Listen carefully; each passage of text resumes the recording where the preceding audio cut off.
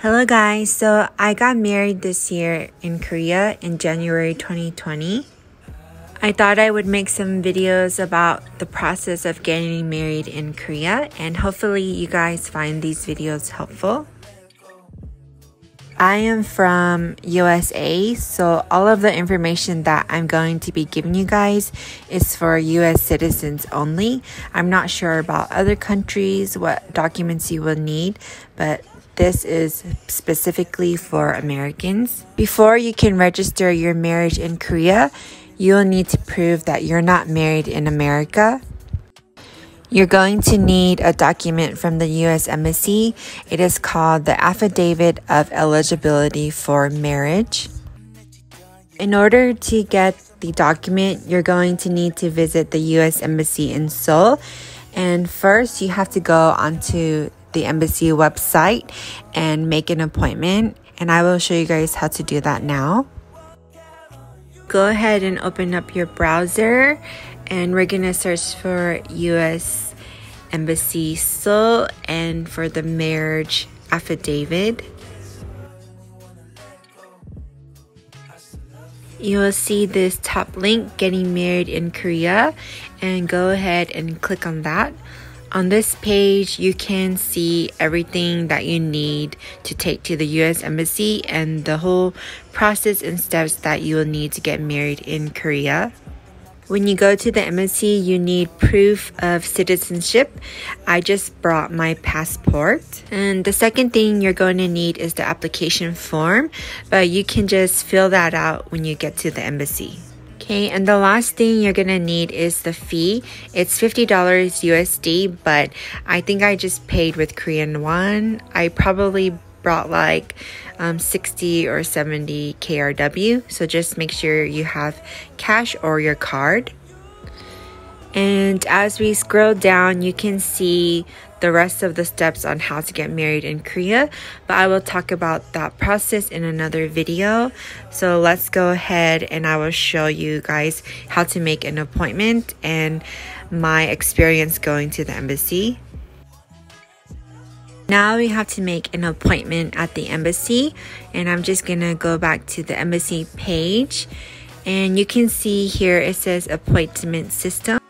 I just clicked appointment system and you scroll down and you'll see this important message.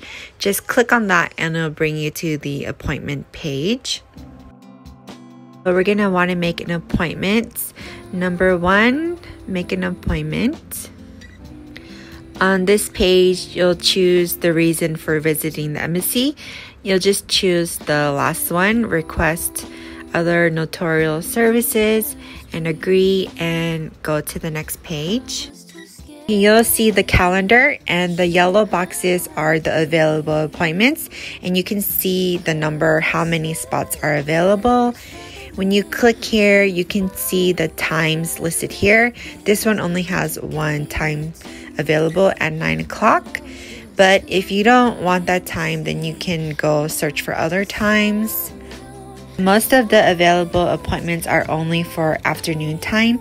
I know when I went, all of the appointments were only in the afternoon, so I'm not sure now if they have morning times available or not. But you can see how many spaces are available, so just choose the time you want and fill out all of the information. After you make your appointment, make sure you print out the receipt or confirmation page because you will need that number later on. On the day of your appointment, you're going to want to go to the US Embassy. You should take the purple line 5 to Gwanghwamun Station, and the embassy is by exit 2. As you walk out of exit 2, just go straight a little bit, and then you're want to turn on the right. If you're looking at the embassy, then it's to be the right side.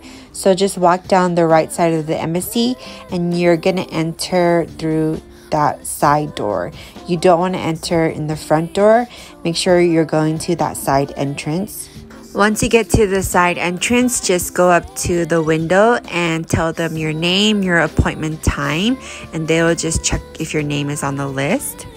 When you enter the building, you cannot bring any bags, so make sure you leave your bag at home or you can leave your bag in the subway station lockers. Once you enter the building, then you're going to be going through security and you have to check in your cell phone. And if you have any keys, you give it to them and they'll give you a little keychain tag. So when you are finished, then just give them that tag and you can collect all your belongings.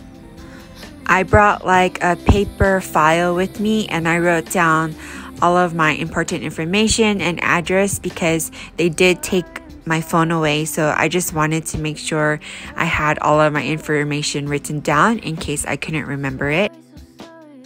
So after you go through security, you just enter the door and you want to stay on the first floor even if it's empty and there's nobody there.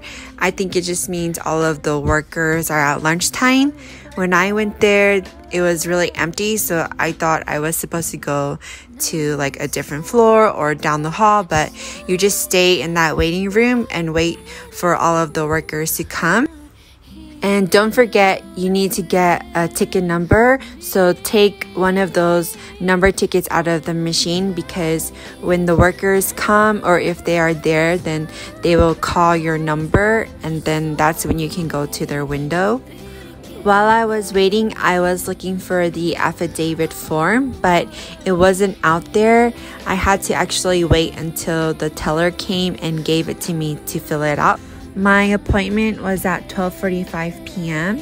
and once all of the workers came to their windows, my number was called and I went up to the lady and I just told her I'm here for the marriage affidavit and she gave me the form to fill out. So I actually had to get out of line and go and fill out the form.